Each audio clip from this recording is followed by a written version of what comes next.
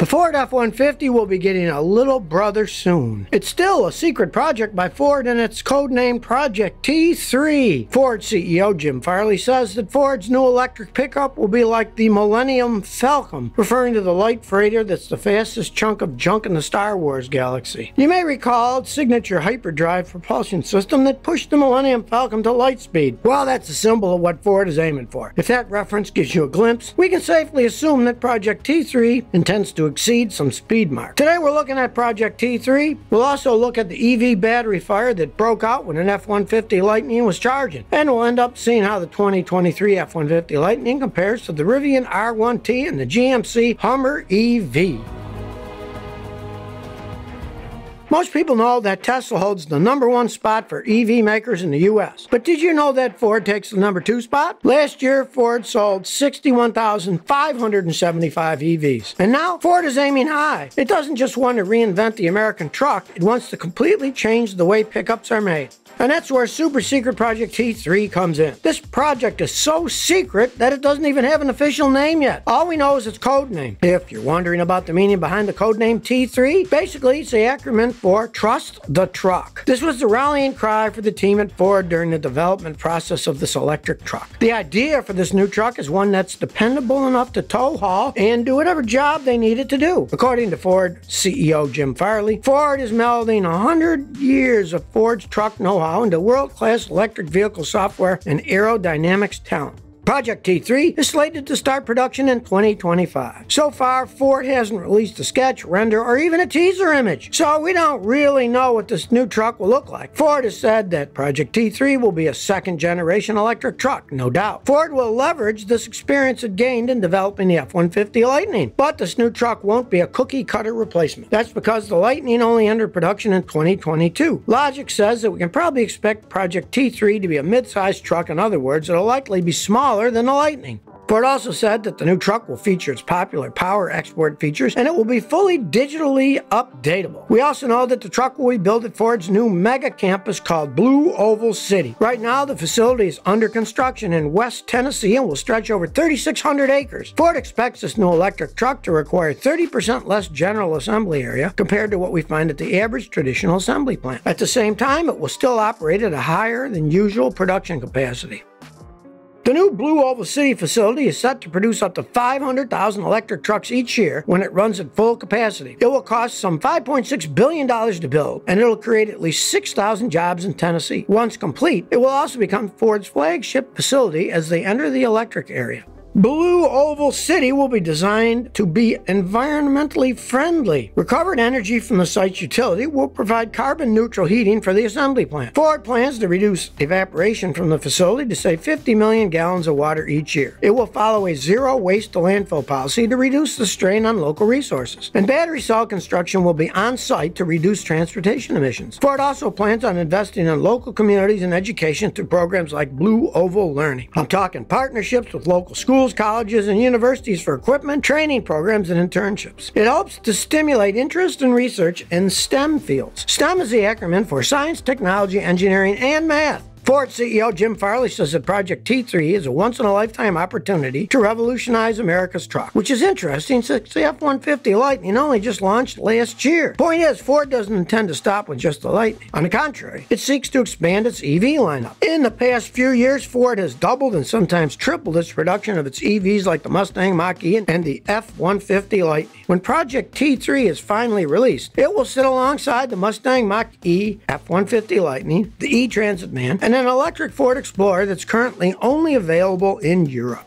Blue Oval City is expected to play a key role in Ford's EV expansion plan to make 2 million electric vehicles per year by late 2026. Production is scheduled to kick out at this mega facility within 30 months. Release date for Project T3 is still unknown, but industry experts expect we'll be seeing a concept or prototype of the new electric truck either this year or early next year.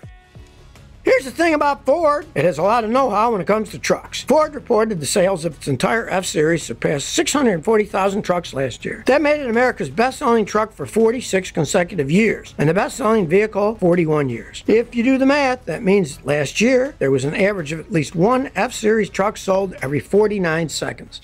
Last year, the Lightning was the number one electric truck in America. Ford sold almost 16,000 units in 2022. The 2022 model was essentially a reworked version of the 14th generation F-150. If you're wondering how the 2023 Lightning compares to the 2022 model, well, they're nearly identical. Sure, the 2023 model has some added options, but the actual base truck is essentially the same. Some of the changes that were brought in with the 2023 model were things like standard range battery that offers 240 miles of driving range compared to the 230 miles you get with the 2022 model. The 2023 model also has other features like standard heated seats that reduce the load on the HVAC system. It also comes with two new available exterior colors. By the way, speaking of the Lightning, the initial base price was announced to be less than 40,000 bucks. The price point caused a lot of excitement because it made more affordable than many existing EVs already in the market. But then Ford raised the price. It did it more than once, and more recently, Ford said it's raising the price yet again. This time, Ford said the price increase was because of supply chain issues and raw material costs. The base price now is just under 60 grand or $59,974 to be exact. That's a $4,000 increase since the last hike and nearly 20 grand more more than the initial estimated price. With the latest price hike, a new F 150 Lightning is around 50% more expensive than it was first debuted. This isn't the second time the Ford's changed the price. It's actually the fourth. On top of increasing the price of the base F-150 Lightning Pro model, Ford also increased the price of the Lightning Lariat and Platinum models. As a few months ago, the Lariat now costs $75,974. That's an increase of 1500 bucks since the last price hike. A Platinum, on the other hand, saw its price go up to $98,074. That's a $1,200 price increase. Also, all models are subject to a $1,895 destination charge too.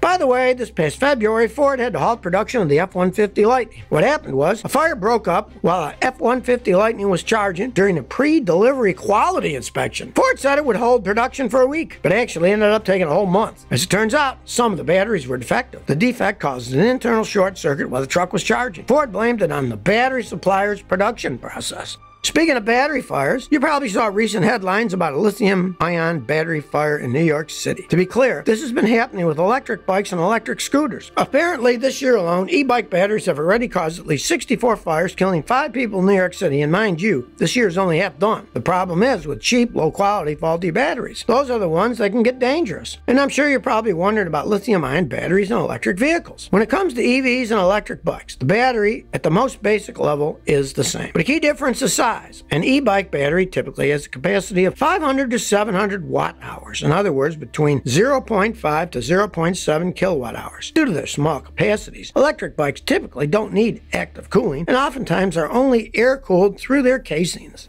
On the other hand, EV batteries have a much higher capacity. For example, the Ford F-150 Lightning Extended Range Battery Pack has a capacity of 130 kilowatt hours. GMC Hummer EV pickup has a 212 kilowatt hour battery pack. So you can see how much larger EV batteries are compared to electric bikes. In fact, that's why EVs need active cooling systems and monitoring of the battery cell temperatures.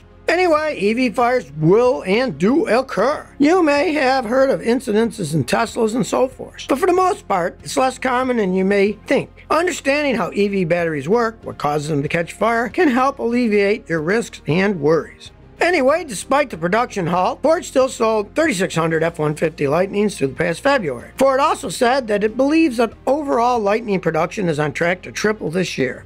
If you're wondering how the F-150 Lightning compares to the Rivian R1T and a GMC Hummer EV, here's a quick breakdown of the 2023 models. Right now, the Ford F-150 Lightning comes available in four trims. The Lightning Pro, which is the base trim, and there's the XLT Lariat and Platinum. Pro trim has two inboard motors, or one on each axle. These motors give this trim 775 pound-feet of torque. The F-150 Lightning comes with two battery pack options. Option 1 is a smaller 96 kilowatt-hour battery pack, and option 2 is a 131 kilowatt-hour battery pack that offers up to 320 miles of driving range. With a larger battery pack, the truck can output 580 horsepower. It also means this electric truck can tow up to 10,000 pounds in the XLT and Lariat trims. But for the base trim, the towing capacity gets cut in half to just 5,000 pounds.